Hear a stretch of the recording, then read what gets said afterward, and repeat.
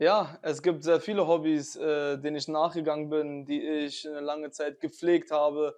Es gibt sehr viele Sachen, äh, die ich in meinem Leben ausprobiert habe, angefangen von Karate bis über B-Boy, äh, Breakdance, Capoeira, alles. Ich kann mich noch sogar ganz genau daran erinnern, wann das bei mir so mit der Musik losging. Das war so 2008. Ich habe ein gesamtes Album äh, für Asima aufgenommen zum Geburtstag. Richtig auch mit Cover zu der Zeit. Ich hatte damals, glaube ich, so ein Sony Ericsson habe mit dem Sony Ericsson das Cover für die, äh, für das, äh, für die CD, also für die CD-Hülle gemacht, für das Booklet auch. Das habe ich dann Asima zum Geburtstag geschenkt. Viele meiner Tests, sage ich mal, die ich gemacht habe, Liebessongs, äh, Songs über die Heimat. Ich habe erstmal so geguckt, was steht so, äh, welcher Stil passt so richtig zu mir.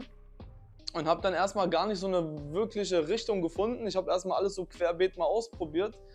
Und ähm, 2018, glaube ich, war das, habe ich auf einmal angefangen, so ein bisschen Lust wieder für Oldschool-Musik. Also wirklich so auf ähm, 90 BPM Beats. Ich hatte mal auch mal Lust, einfach mal was zu machen, was wirklich so an die 80er, 90er Jahre erinnert. Und ich hatte noch nie über meinen Werdegang hier in Deutschland gesprochen.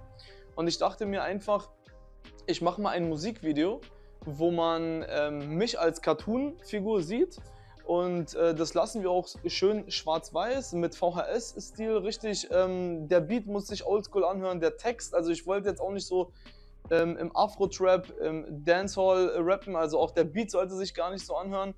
Und äh, eine Vorlage gab es dafür für den Beat von äh, Dragon Ball GT. Ich bin ein riesen Dragon Ball-Fan. Und äh, da gab es natürlich hier und da mal traurige Situationen in dieser äh, Anime-Serie. Und ich habe mir dann einfach ein paar Sekunden, sage ich mal, samplen lassen und habe daraus dann den Beat äh, äh zu Ghetto 96 gemacht. Ghetto 96, warum 96? Weil ich in dem Jahr geboren bin. Warum Ghetto? Weil ich in meinem Leben, also vor allem bis zu meinem siebten, bis zum achten Lebensjahr, auch wie im Ghetto gelebt habe. Also man muss sich vorstellen, ich habe damals in der Gerenseestraße in Hunschenhausen äh, gelebt und das war so meine Anfangszeit so in Deutschland. Und da muss man sich das von der Location her so vorstellen, dass es ganz viele Plattenbauten gab, aber nicht die Plattenbauten, so wie man sie heute kennt, mit schön lila, schön gelb, orange. Nee, nee, nee. Da war noch alles noch schön mit Steinchen und so. Das war richtig oldschool. Und diese Betongebäude, die stehen immer noch da. Und ähm, die Gebäude standen praktisch so im Würfelmuster. Also alles, was sich in diesem Innenhof äh, befand und alles, was in dem Innenhof passiert ist, ähm, hatte nur was mit Ausländern zu tun. Da haben Albaner gelebt, da haben Bosnier gelebt, da haben Aserbaidschaner gelebt, da haben Tschetschenen gewohnt, ganz viele Vietnamesen. Da haben so viele Nationen aufeinander rumgehockt. Aber als Kind war das für mich trotzdem schön, weil ich musste ja nicht irgendwie eine Sprache können. So als Kind äh, versteht man sich ja mit jedem. Da versteht man auch noch nicht so richtig so diese, diese Konflikte unter den Nationalitäten. So war meine Kindheit und deswegen dachte ich mir, den Song, den ich jetzt machen werde, den nenne ich Ghetto 96. Und in diesem Song war mir das wirklich sehr, sehr wichtig, dass wir da auch so die Anfangszeiten auch so ein bisschen zeigen, auch die, die Stellen präsentieren in dem Song, die mich so als Kind doch geprägt haben. So, wo man einfach mitbekommen hat, wie Leute abgeschoben wurden. Wo einfach sich Leute einfach mal vor dem Flüchtlingsheim einfach mal abgeballert haben. So, das gab es ja auch. Also es gab ja einfach Leute, die haben sich gestritten unter, innerhalb dieser Nationalitäten. Es gab dann irgendwelche Konflikte, auch mit Drogengeschichten und mit äh, hier mit Abschiebung und weiß ich nicht. Das habe ich alles damals mit fünf, sechs Jahren mitbekommen. So. Das ist jetzt nicht gerade das Schönste, was man so als Kind mitkriegen sollte in dem Alter, aber das war so meine Kindheit. So ist Ghetto 96 entstanden.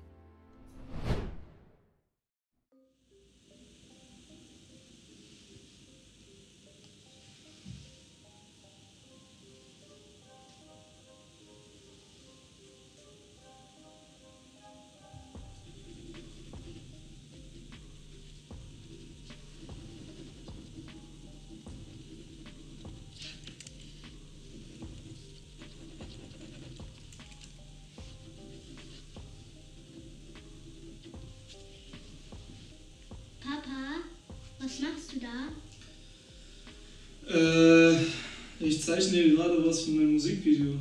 Also, ich zeichne die Szene für mein Musikvideo. Willst du sehen? Ja. Komm mal her. Nimm mir ruhig Platz, setz dich hin, ich zeig's dir. Guck mal, ich hab hier. Guck mal, ich hab hier ganz viele Bilder von mir gemalt.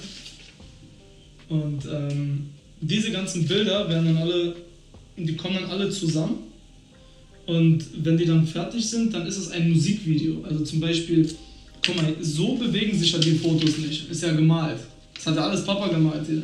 Aber wenn man dann die Bilder alle übereinander legt, dann siehst du, guck, achte mal auf den Finger. Ich mache da so mit dem Zeigefinger. Im Musikvideo ist es dann so, dann bewege ich, siehst du? Mal ist der Finger oben, mal ist er unten. Papa rappt sozusagen. Ist wie so ein Daumenkino, weißt du? Und ähm, ich zeichne gerade. Hier hast du auch Ilurkia, meine, meine Mama, deine Oma, als sie geflüchtet ist. Alles habe ich alles, äh, habe ich alles gezeichnet.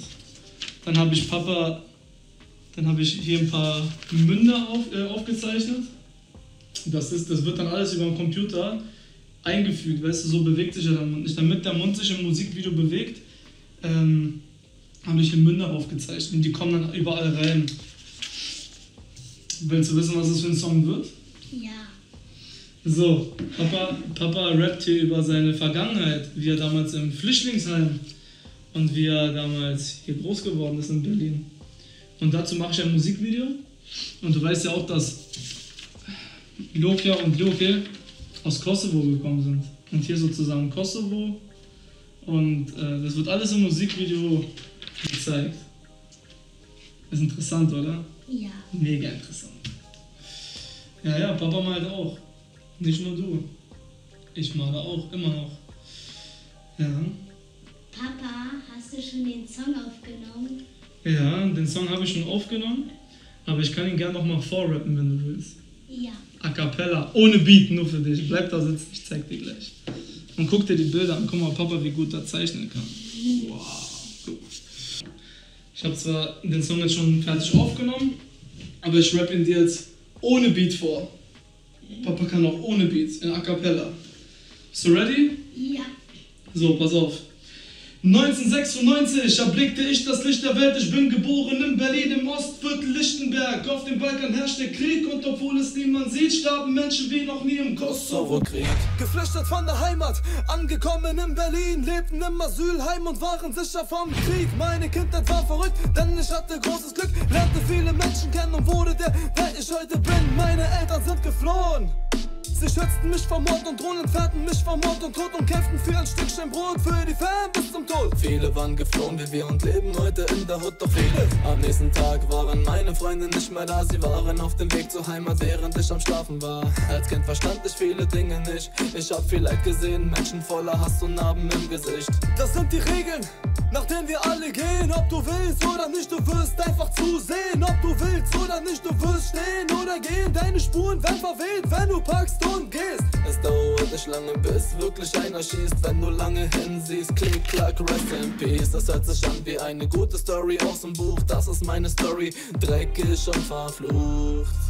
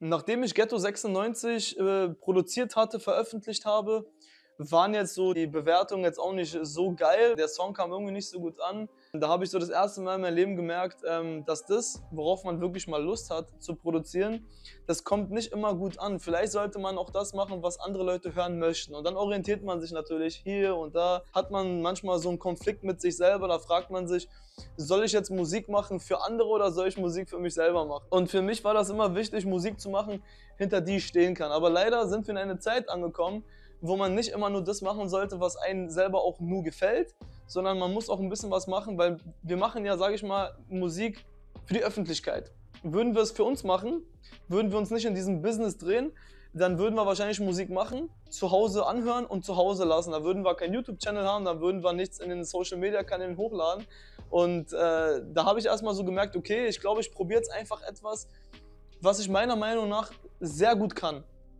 Und Deutschrap 90 BPM Beats, Oldschool ist einfach ausgelutscht. Das hört sich einfach altmodisch an. Es, das will keiner hören, das läuft in keiner Bar. Außer wenn man jetzt irgendwie auf Nostalgie irgendwie Bock hat, sich äh, irgendwie so eine Sachen reinzuziehen. Aber ich persönlich höre mir auch keine Oldschool-Sachen an. Also Oldschool in dem Sinne Deutschrap. Also von Tupac und äh, von Biggie höre ich mir gerne so eine Sachen an, auch sehr gerne zum Fitness. Aber äh, so Deutschrap nee, das ist so, das Ding ist gelaufen, glaube ich. Und ich dachte mir einfach, wieso bringe ich eigentlich nicht diesen albanischen Charme, diesen albanischen Flair, sage ich mal, in meine Musik mit rein?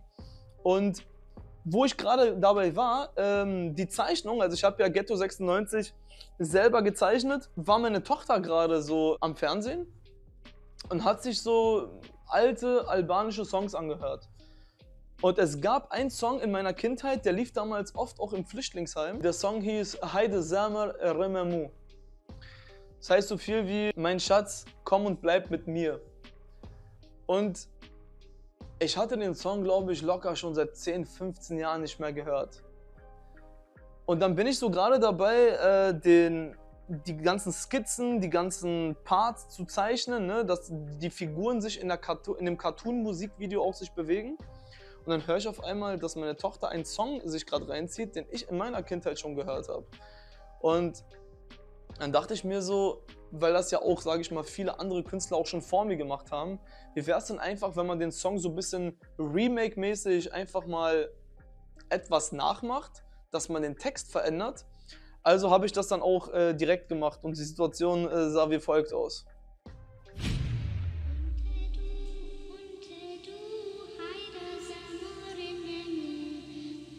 Baby? Ja? Äh, wo hast du diesen Song her? Da. Da? YouTube oder was? Ja. Das ist interessant. Sehen wir nochmal. Unter du, unter du, heide Samorimemu. Okay, stopp. Kannst du, mir den, kannst du mir den Song mal zeigen? Ja. Okay.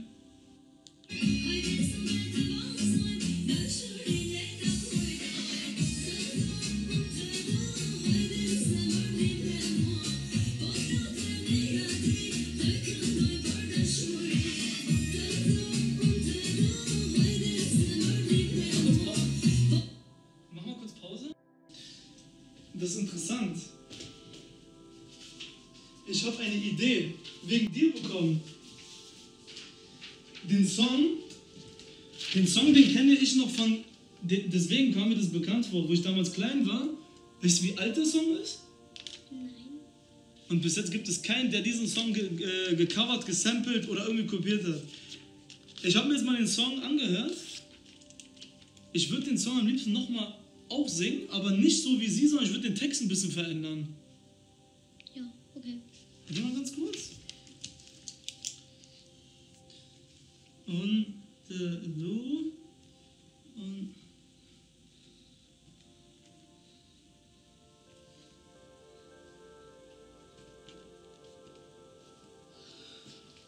Pass mal auf. Sie hat doch gesagt, pass auf. Unter du, heide zamaramamu Potlu tamaneti, takan doi bardashuri Ja, klingt klingt doch genauso. Ist nur ein bisschen der Text verändert.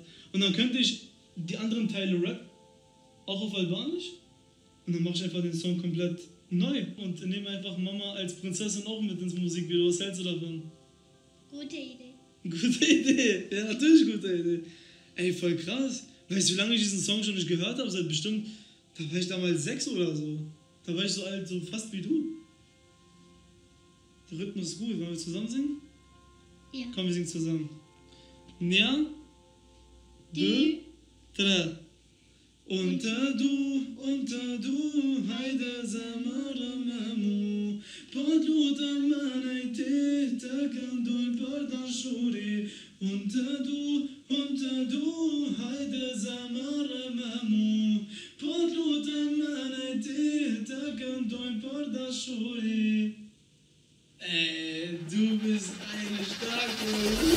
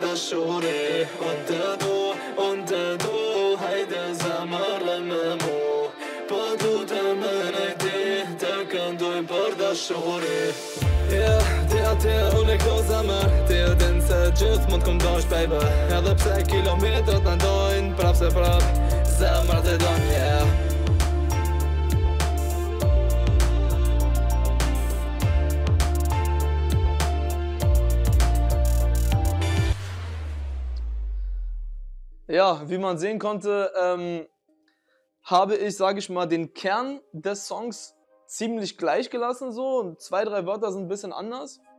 Ich habe die Versen, also die, die Parts, habe ich komplett neu geschrieben. Dann kam Hook, dann kam eben dieses Unter du, unter du, heide same rememu und dann kam wieder ein neuer Part, den ich auch selber geschrieben habe. Also das Einzige, was wirklich von dem Kernsong aus den 90er Jahren geblieben ist, das ist wirklich nur die Hook, was, sage ich mal, auch dem Song so ein bisschen Charakter gibt. Und ich sag ehrlich so, ich war verwundert, also wie, wie, wie geil das auch äh, gemacht wurde. Also vom, von, dem, vom, von DJ Screw damals und wie gut man auch dann das, äh, das Autotune eingesetzt hat. Ich fand den Song einfach so als moderne Version zum Vorgänger einfach, ich habe das Ding übertroffen. Also ich kann wirklich sagen, ich finde Unter Du ist ein Song von mir, den ich selber extrem gerne höre. So, ich bin auf dieses Projekt sehr, sehr stolz. Unter Du ist ein Song, den ich produziert und gedreht habe in der Zeit, wo ich mit Asima zusammen war. Und der Track oder das Musikvideo wurde erst veröffentlicht, nachdem wir nicht mehr zusammen waren. Jeder Künstler war schon mal in der Situation, wo man sich einfach mal überlegt hat, so, ähm, was ist so der nächste Schritt? Was ist so der nächste Stil? Was mache ich als nächstes? Mache ich ein Album? Mache ich einfach Free Tracks? Äh, mh, baller ich jetzt einfach mal äh, ein Album mit einem Kumpel zusammen? Und bei mir war das dann so gewesen, dass ich dann irgendwann gesagt habe, ich habe Bock auf etwas, was ich noch nie gemacht habe. Ich habe Bock, etwas zu produzieren, wo ich wahrscheinlich auch äh, viral gehen werde, auch in der Gegend so. Ich werde wahrscheinlich sehr viele ähm, böse Kommentare kriegen, aber es ist eine Sache, über die ich einfach noch nie gerappt habe. So, aber worüber ich im Privaten sehr viel rede und wo ich auch im Privaten mir auch sehr viel Gedanken darüber mache. Und das ist einfach das Thema Sex. So. ich habe einfach äh, gedacht, ich mache einfach mal einen Song, der genau über dieses Thema handeln wird, aber ich werde es richtig, richtig gut verpacken. So, und ich werde auch den Song so produzieren, dass er sich sehr modern anhört. Ich werde den Song so produzieren, dass es zu einem, das wird einen Ohrwurm-Charakter haben und ähm, war dann so mitten in der, in der, in der Schreibphase äh, so und äh, wollte den mal sehr gerne Asima zeigen. Aber die Reaktion war ein bisschen anders, als wie ich das erwartet habe. Und ähm, Ja, ich wollte dir so ein bisschen was vorrappen. Damit du mal siehst, um was es geht. Und ich weiß, das ist jetzt nicht so ganz dein Ding und so, weil du, du willst mich ja nicht sehen, wo ich über andere Frauen und so rede, aber es geht eigentlich gar nicht um andere Frauen. Es geht eigentlich darum, dass es einfach das Thema Sex einfach geil ist. Und ich wollte schon immer so einen Song machen, so der auch mal in der Bar laufen kann, der so ein bisschen. Ja, der ein bisschen. Abgeht oder was? Ja. Ja, Mama. Ich kann halt so ein bisschen anfangen zu rappen und du sagst mir einfach deine ehrliche Meinung, okay? Mhm. Okay. Ist jetzt auch so ein bisschen Freestyle, ist noch nichts Festes so. Ich habe jetzt noch nicht so richtig äh, alles äh, fest äh, geschrieben, aber das ist so erstmal so der Grundstein. Okay. Ja. Oh, oh, oh. Oh, oh. Oh, oh, oh, oh. Oh, oh, oh, oh. Angekommen, um zu bleiben, Bro. Storymaker wie Pinocchio. Ich bin angekommen, wow, wow. Ich bin angekommen, wow, wow. Oh. Motherfucker und ein Gangbanger. Ich bin ein Trendleger, Trendleger. Und laufe durch die Hut, als wäre ich ein Gangster. Ich laufe durch Berlin, als würde mich jetzt jeder kennen. In meiner Hose ist für jeden ein Geschenk. Ich bin nice, ich bin reich, ich bin wunderschön. Einen schönen Tag noch, auf Wiedersehen. Bam, bam, bam, bam, bam, bam, bam. Und dann, äh, das ist die Hook. Mhm. Ich will Sex mit dir, du willst Sex mit mir. Bevor ich mich verliere, Baby, ich komm in dir. Du willst Sex mit mir, ich will Sex mit dir. Bevor ich mich verliere, Baby, ich komm in dir. Jedna trima, jedna bandita, pretirones, powina. Jedna trima me szybka. Bla bla bla bla bla. Mehr hab ich nicht. Naja, ist das schon sehr viel, wahr? Ist ja schon sehr viel, wahr? Das, ich wollte jetzt nicht hören, ob es sehr viel ist, aber ich wollte deine Meinung hören. Naja, also, Punkt 1 ist, der Song an sich ist richtig geil, ja. Vom Text her finde ich den eigentlich auch geil so. Hört sich gut an. Punkt 2 ist, jetzt kommen wir zum Punkt 2. Jetzt stelle ich mir gerade das Video vor. Ja, Ja, das Video wird so sein wie der Song. ja. Ich werde mir eine Darstellerin holen, die das professionell macht. Mhm. Oder vielleicht Darstellerinnen, also vielleicht auch mehr. Und dann stelle ich die einfach in mein Video und dann geht ab. Mhm. Sollen die ein bisschen da ihr Ding machen, sollen ein bisschen tanzen und fertig. Was ist das Problem? Das sieh mal.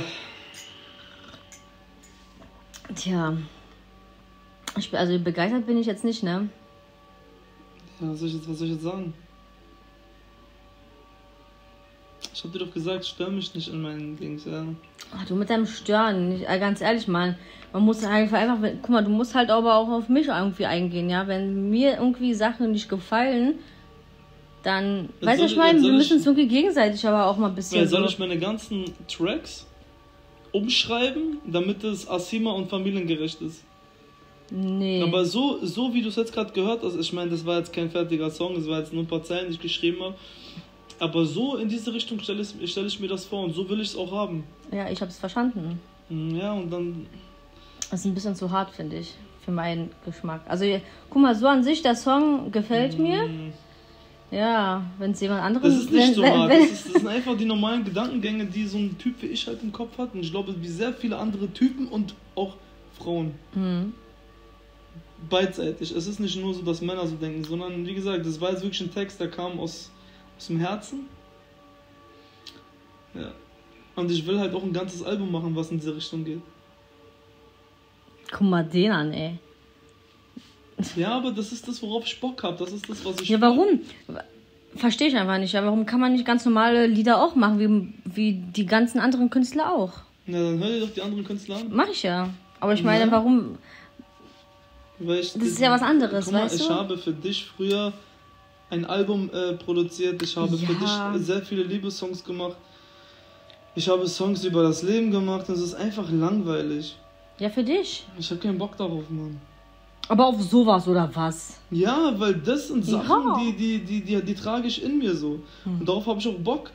So, weil das sind auch Sachen, die auch visuell gut aussehen. Wenn du ein Musikvideo machst, das sieht auch visuell geil aus. Also, wenn, wenn irgendwelche Ollen mit dem Arsch da Voll vom Gesicht so oder was? Ja, das ist das, was viele Männer, also was, was, wovon viele Männer träumen. Ja, ja, warum stellst du denn nicht irgendwie ein paar Männer hin, dann was Frauen auch sehen wollen? Schön mit Oberkörper frei. Weil ich nicht auf Männer stehe. Ja, aber Frauen stehen drauf. Ja, aber. Mach doch mal was für Frauen, nicht nur für, für euch Männer. Ja, weil ich, ich bin Ja. ich, ich brauche ja keinen nackten Männer in meinen Videos. Ich, Ja. ich, ich bin doch der Einzige, der da nackt ist. Nein, Spaß, ich bin nicht nackt, aber so halt. Das wär's ich ja noch, ey. Mann, erzähl mal. Mach mal keine Nee, Faxen. nee, warum? Ich mach keine Fax, das ist halt einfach das Normalste der Welt. Mach mal keine Faxen jetzt. Ich will Du machen. kann, ja, du kannst es ja auch machen, das ist doch deine Sache, aber Mama. du kannst ja auch mal ruhig mal auf mich eingehen. Ich muss ja nicht jedes Mal auf dich Ich eingehen. bin, ey, hör mal zu, ich bin auf dich eingegangen. Ich habe die letzten Alben, oder was heißt, oh, ein Album. schon wieder diese Hör mal Leier. zu, ich habe für dich doch, ich, du sagst, ich komme dir nicht entgegen. Ich habe für dich ein ganzes Album produziert. Was willst du denn noch, Alter? Ich habe jetzt auch mal Bock, was anderes zu machen. Ich kann doch nicht jedes Mal ein Video machen, wo es immer um Herzensbrecher, oh, ist der süß. Ich, ich will das nicht. Nee, warum? Hat da keiner gesagt, Herzensbrecher? Ich habe doch nicht nur so? das zu bieten. Ich kann auch, ich, ich bin ein Künstler, ich bin facettenreich. Ach Ich kann heute einen Song über Glauben, ich kann morgen über äh, Politik, über- übermorgen über Liebe, übermorgen um Sex. Lass mich doch mein Ding machen. Ja, komischerweise dreht sich äh, bei dir das nur noch um dieses Thema Sex. Ja, Ja, ja, ja. ja. Ja, schön. Ja. Ja, was soll ich sagen? Also ich kann ja jetzt auch nicht ähm, von meiner Frau erwarten, dass sie das geil findet, dass ich jetzt ein Musikvideo drehe, äh, wo mehrere nackt oder halbnackte Frauen oder eine halbnackte Frau sich äh, neben mich da neben mir, neben meiner Wenigkeit da rumtanzt. Äh, es war mir schon klar, dass sie das nicht geil finden wird.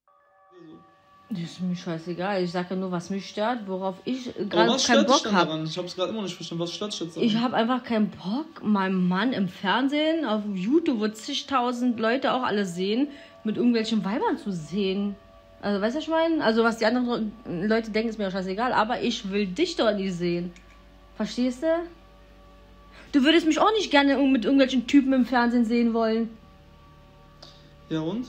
Aber das äh, ist was ganz Komm, anderes. nee, das ist nicht was anderes. Nur weil ich jetzt kein äh, Musik oder so mache. Ich kann mich jetzt auch auf YouTube einfach so verkaufen, mal, als ob ich Musik wei- weißt mache. Du, weißt du, was der Unterschied zwischen uns beiden ist? Nee, Ich habe dich kennengelernt und du hast nie irgendwas mit Kunst zu tun. Du, du hast, du hast mit, den- mit der Sache nichts zu tun. muss ich auch nicht. Wärst du, wärst du eine Künstlerin, wärst du eine, die äh, Wert auf Musik, auf Kunst legt, dann wäre das was anderes gewesen. Aber Nö. bei dir ist doch so, du hast von vornherein keinen Bock darauf. Nee, Heißt, hat nichts damit du- zu du tun. Warum? ja Ich kann mich doch im. Laufe der Jahre auch verändert haben. Warte doch mal, du hast mich doch hyperaktiv kennengelernt. Du hast mich Ja, kennengelernt. so hyperaktiv warst du jetzt auch nicht. Also du hast Musik gemacht, ja, aber noch nicht so. Und außerdem hat es nichts damit zu tun. Ich kann mich da auch im Laufe dieser Jahre, die wir jetzt zusammen sind, äh, auch andere Hobbys ja, anschließen. Verstehst du, doch. was ich dann, meine? dann mach doch. Ja, dann Was mach ich aber komm mir da nicht auf diese Leier und sag, äh, ja, das stört mich und das stört mich. Brauchst du nicht kommen. Keiner sagt, dass du nicht sagen darfst, wenn dich was stört. Du kannst sagen, was du willst. Aber Ja. das Ding ist einfach, es geht jetzt gerade um ein Projekt, was noch nicht mal fertig ist. Ein Projekt. Und ich würde gerne dieses Projekt fertig machen. Und wenn es dann nach meinen Vorstellungen entspricht, würde ich auch gerne ein Album machen. Mhm. Ja. Mach doch. Mhm. Ja. Mach doch, aber komm Ich auf die mach- dann. Ich mach Ja. das Video, aber das Ding ist einfach, ich wollte so ein bisschen deine Meinung hören, ob dir, ob dir der. Flow gefällt, ob dir der Text gefällt. Ja, der Kommst Flow, der Text gefällt mir an sich ja. Und die Meinung hast du ja jetzt. Boah, ich höre, ja, ich, boah, ich verstehe auch voll die Typen einfach. Deswegen ist auch kein Künstler vergeben. Tja. Weil man sich so eine, so eine Kopfschmerzen gar nicht machen will. Eigentlich, Ja. eigentlich schreibt man so einen Text, weil man Bock hat, das Ding zu recorden so. Und dann hört man sich die Meinung von einer Frau an, die mit dem, mit, mit, in diese, die mit dieser Sache nichts zu tun hat. Und dann kommt sie noch mit Eifersucht. Du kommst doch gerade an mit deinen Eifersuchtsgeschichten so. Es geht dir doch gar nicht in erster Linie darum, dass äh, irgendwelche Leute irgendwas von mir denken, oder? Oder doch? Nee. Also es ist Eifersucht. Nee, das hat allgemein was damit zu tun. Ja, aber ich, Wenn ich, will- jetzt, ja. wenn, ich jetzt die, wenn ich jetzt diese alte, also wenn ich jetzt die Frau aus meinem Video rausschneide, Ja und? hast du trotzdem ein Problem? Nee. Du hast gerade gesagt, der Text und so, der ist zu hart. Nein, ich habe nein, ich habe gesagt, das klingt alles äh, so vom äh, vom Flair und so Text finde ich ja gut, habe ich doch gesagt. Ich meinte nur dann, wenn ich mir das jetzt vorstelle mit dem Text zusammen und dann plus nochmal die Olle dazu, die im Video, dann Ja, ist das, das- definitiv zu Ja, hart. Das ist doch Kunst, Alter. Das ist doch Kunst, so ein Ding so hinzukriegen, dass man auch von YouTube nicht gestrikt wird. Aha. Und das ist trotzdem ein. Du guckst dir doch auch gerne so Sachen an wie Fifty Ja. Shades of Grey und Ja, so. guck ich auch. Ja, aber das ist ja was anderes. Da sehe ich ja nicht meinen Mann drin. Warte doch mal, der Typ ist erstens verheiratet, zweitens Ist das auch eine. Art von Kunst. Nee, ja, ist mir aber scheißegal, ob der verheiratet ist. Ja, kann ja sein. Nicht kann sein, ist, ist nicht kann sein, weil es ist ein wichtiges Thema. Also stopp. Ja. Also sag ich mal jetzt mal so, ja, wenn jetzt, guck mal, wenn mich jetzt irgendjemand anschreibt und fragt, ja, machst du in meinem Video mit mich? Hast du gerade hast du gerade die Worte, du hast gar keine Silbe von dem verstanden, was ich Doch, gerade gesagt hab ich. Ich habe gerade gesagt, du bist keine Künstlerin. Du hast nichts mit der Sache zu tun. Du, du bist doch gar nichts da in dieser Bubble überhaupt äh, tätig so. Du bist gar nicht da. Warum? Man kann sich doch auch umändern, um, umstellen, andere Hobbys auch mal anfangen, Ja, verstehst mach, du? Mach. Kann man doch. Und Wenn- wenn, ich jetzt jemand anschreibe, dann sage ich bestimmt dann nicht, machst- nein, darf ich nicht. Mein Mann hat was dagegen. Immer, wenn du es wenn du's gut findest, dann mach. Naja, so wie du einige Sachen gut findest, finde ich dann auch einige Sachen gut, was ich Aber mache. das finde ich doch schon die ganze Zeit gut. Das kommt doch jetzt nicht seit zwei Wochen. Das ist doch, die Musik machst du doch schon, seitdem du mich kennst. ja, aber Du- du nicht auf dem Level, so. Digga. Du, du hast mich praktisch auf der Bühne kennengelernt. Ja, aber dann nicht. Auf jeder Veranstaltung war ich. Ja, äh, Nee. zeig mal jetzt nicht rum, Alter. Nee. Ich will einfach nur in, in dem, was ich mache, einfach Spaß haben. Du sollst mir Spaß einfach nicht nehmen, fuck mich einfach nicht ab. Junge, du fuckst mich ab, ey. Dann mach doch die Sache. Was aber fuck ich komm, dich ab? Junge, Was fuck ich Ich hab dich gerade nach meiner nach Ja, deiner und- Meinung ja, und findest. ich hab's dir Der gerade gesagt. zu hart, das Video Nein. zu Die alte, erstmal habe ich noch gar keine ausgesucht. Ich Ja. habe noch gar nicht entschieden, ob eine Frau reinkommt. Ich habe nur gesagt, so, das wäre krass, wenn man so und so macht. Und du schon direkt willst mir schon die Schranke davor sitzen. erstmal habe ich nicht gesagt, der Text ist hart. Ich habe gesagt, der Text und der, Fla äh, der Flow klingt geil. Verstehst du? Habe ich schon gesagt. Das nee, du hast an gesagt, sich. nee, du hast gesagt, du findest das Ding ein bisschen zu hart. Ja, aber nicht. Nein, ich habe gesagt, wenn, wenn ich es in der Kombi sehe, Ich, schwöre, ich weiß auch gar nicht, warum ich dich überhaupt frage. ja, dann frag doch einfach nicht nächstes Mal, ey.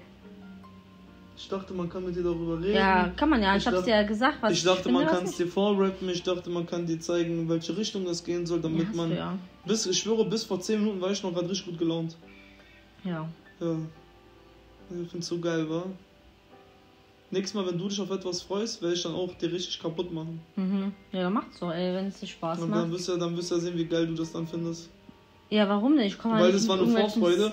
Ich wollte einfach einen Song über Sex machen. So.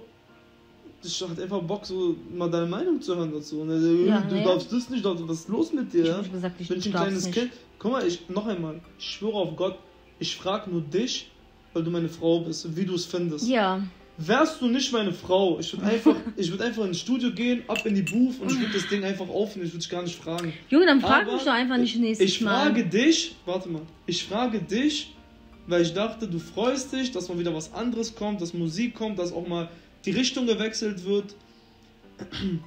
Aber kann man mit dir nicht machen. Nee, warum doch? Mit mir kann man sehr vieles machen. Ja, aber bei dir kann man nur Teletubby-Musik. warum Ja, ein Teletubby, Junge? Ja, bei dir, du willst nur, dass ich so eine Musik mache, Nee. was familientauglich Nee, ist. habe ich nicht gesagt. Du musst ja auch nicht Aber sowas selber- sein. Es gibt aber- doch so viele andere selber- Künstler, die machen auch Musik, auch in dem Dreh, aber Mhm. die, das sieht nicht so aus wie bei dir. Mhm, aber guck mal weiter, 50 Shades of Grey. Ja, das ist auch Mhm. geil. Ja, das ist geil. Und genau wie du das geil Ja, findest. das ist geil, aber das machen, machen ja andere Darsteller und nicht mein Mann. Wenn ich meinen Mann da drin sehen würde, Junge, dann wärst du nicht mal mein Mann, Alter. Okay, wie geht's jetzt weiter? Machen wir jetzt das Projekt, ohne dass du mir Kopfschmerzen bereitest? Ja, du kannst ja das Projekt machen. Ich kann das Projekt machen. Ja, mach's doch. Also, weißt du, was ich meine? Ja. Ist nicht meins, aber ja. Oh, ich weiß ja. ja. Ich dir ich, viel ich, Spaß. Ich, ich werde dir einfach. Ja, viel Spaß. Dankeschön. Bitte. Ich werde dir einfach nächstes Mal gar nicht mehr erzählen. Dann mach ich einfach mein Ding alleine. Ja, mach, mach. Digga, ich gehe woanders meinen Tee trinken, ja. mach mal. Kann ich hier weiter gucken?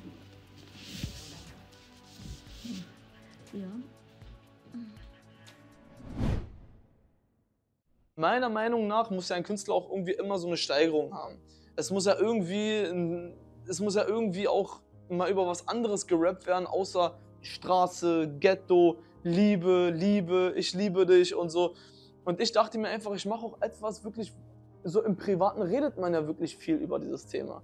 Ich habe das jetzt, um ehrlich zu sein, nicht so richtig verstanden, warum die sich jetzt da so krass gegengestellt hat, sage ich ganz ehrlich so weil es ist ein Thema, was irgendwie alle von uns betrifft so. Äh, jeder tut es, aber die wenigsten reden darüber. Und äh, so eine hyperaktiven Leute wie ich, haben einfach mal Bock, einen Song drüber zu machen.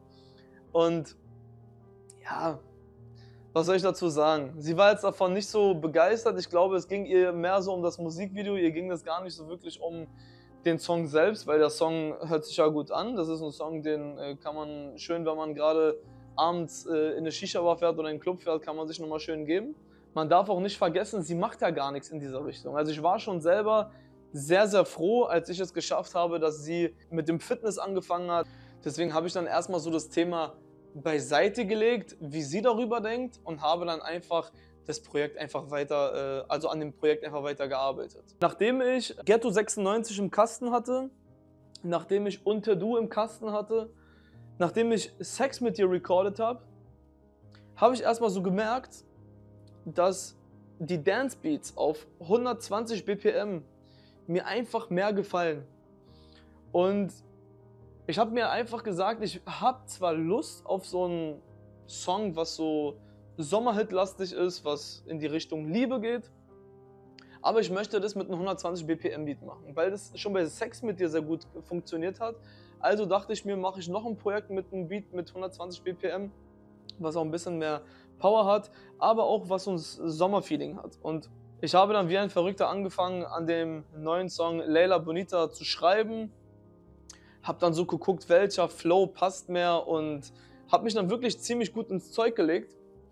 Es gibt insgesamt von Leila Bonita drei Versionen und nur eine Version davon ist äh, veröffentlicht worden. Das ist nämlich die letzte, die man auch äh, auf Spotify und Co. kennt. Ich habe eine Sache an mir festgestellt. Wenn ich im Alltag beispielsweise Termine wahrnehme vom Kunden und mich um meine Standardarbeit kümmere, arbeite ich nach Termin. Kunst funktioniert so überhaupt nicht. Und wenn man denkt, dass man diese zwei Sachen miteinander verknüpft, da kommt nur Scheiße bei raus. 100%. Denn ein Mensch ähm, ändert, was Kunst angeht, seine Meinung. Wenn man gerade dabei ist, ein Projekt zu machen und ähm, man möchte jetzt einfach beispielsweise die Version ausprobieren, es so ausprobieren, vielleicht mit dem Flow, mit der Melodie, da kann sehr viel passieren, wenn man sich nicht so richtig Zeit dafür nimmt. Und bei Leila Bonita ist mir aufgefallen, dass ich in der ersten Version einfach zu viel reingehauen habe. Das war einfach zu viel Power in der Stimme. Und ein Song, der Sommerhit-lastig sein soll, positive Love Story beinhalten soll, darf nicht so sein, meiner Meinung nach. Und da bin ich ins Studio gegangen, DJ Screw war da, Kai war da und dann haben wir den Song recorded, hat er Mix, Mastering, alles fertig gehabt, hat er mir zugeschickt. Dann höre ich den Song so und ich merke so, ey, wie scheiße ist das, Alter? So. Dann habe ich auch gleich zu DJ Screw gesagt, ey, wir müssen irgendwas an diesem Beat ändern, weil der Beat gefällt mir nicht, weil der hat sich ja damals nicht so angehört wie in der letzten Version.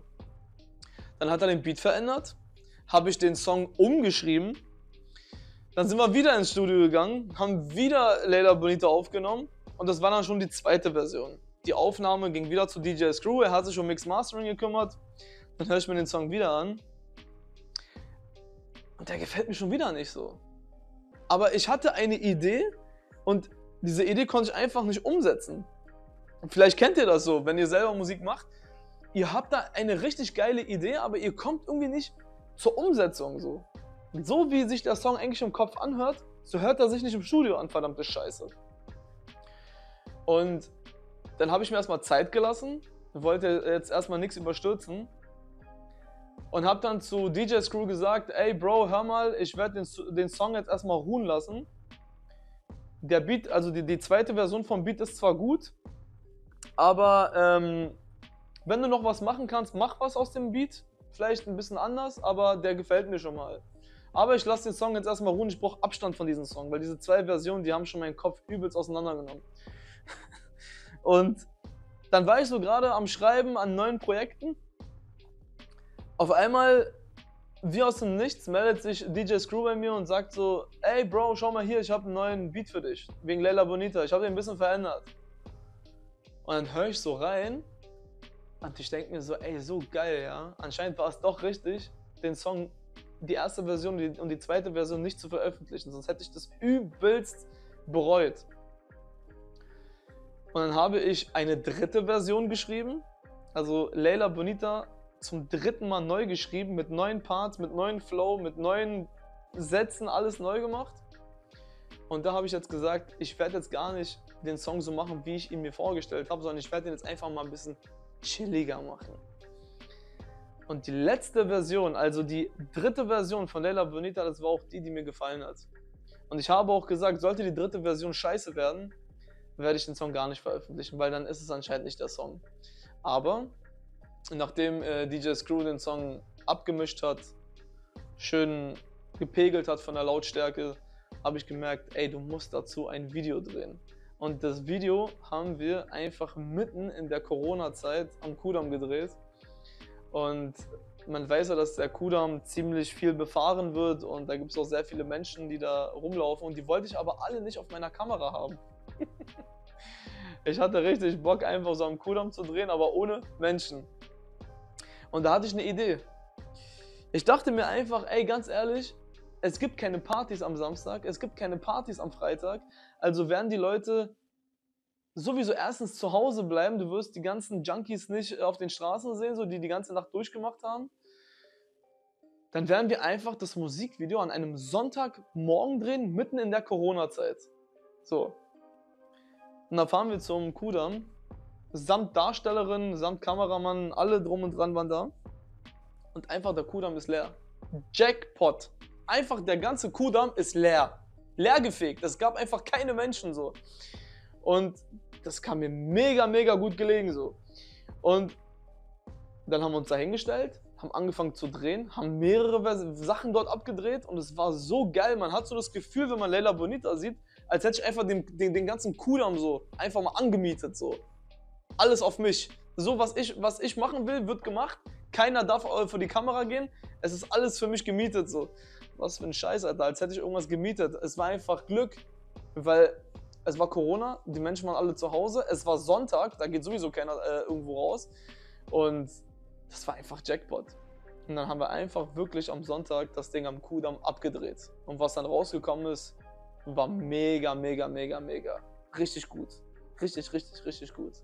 Und ich bin sehr stolz drauf. Rnov Gjaku Jan, Gjaku Shqiptar Lejla Bonita, je vetëm e imja të Bonita, Lejla Bonita. Unë e dita, si Bonita, të Bonita. Të Bonita. Lejla Bonita,